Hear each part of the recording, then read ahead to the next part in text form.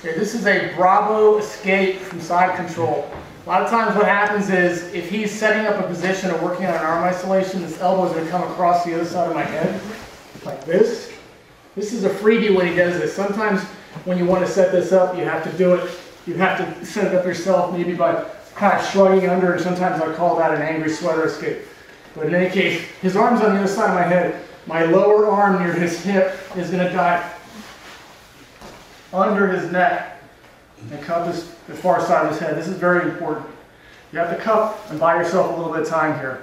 We're going to push the arm across and trap it under my body or under his body. Clamp, bridge roll, get him up on the side. Squeeze. The arm sometimes will start here. Maybe he's got something going on here. I need to get this hand to here. It's actually not that hard.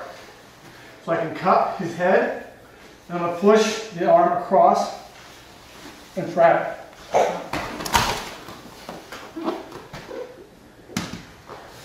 I'm going to be careful to avoid the neck crank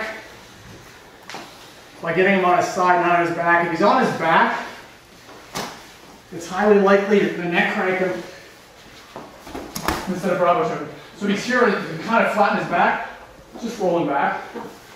Fix your arms. And squeeze again. I'm to hit him right here, side of his neck one more time.